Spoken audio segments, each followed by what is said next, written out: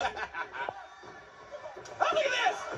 For those of you who like uh, your action extreme,